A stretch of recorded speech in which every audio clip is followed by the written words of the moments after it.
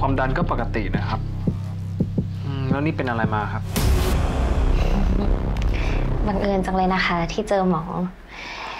คือพอดีอ้อนหน้ามืดนะคะ ก็เลยมาตรวจ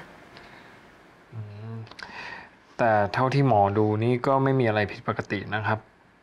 คุณอ้อนนอนน้อยหรือเปล่าครับ นั่นน่ะสิคะ ช่วงนี้อ้อนมีเรื่องเครียดๆนะคะเ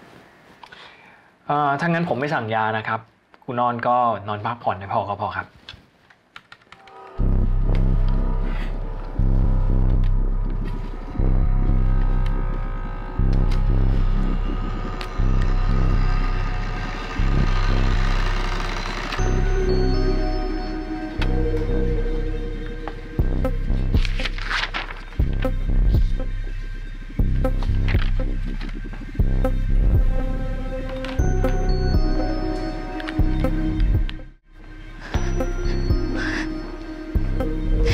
ำไมทุกอย่างมันยากแบบนี้วะ